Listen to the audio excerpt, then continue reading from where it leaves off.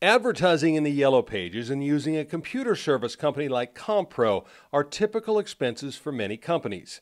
So when an invoice like this one shows up at the mail, the assumption is that it's legitimate. They thought they owed these different prices. One was for your yellow book, the other was Compro, and it's for services um, ranging from $75 to $400. In truth, they didn't know a penny.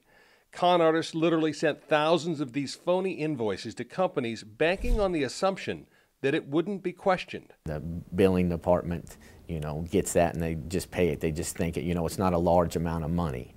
You know, it's not $1,000, $1,500. So they just go ahead, ahead and pay it because they get multiple bills.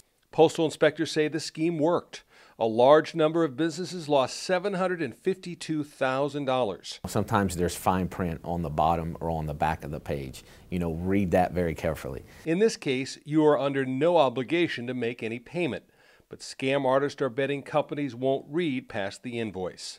Some advice from postal inspectors. Talk to your shipping department, your ordering department. You know, just because you get a bill in the mail doesn't mean you ordered it.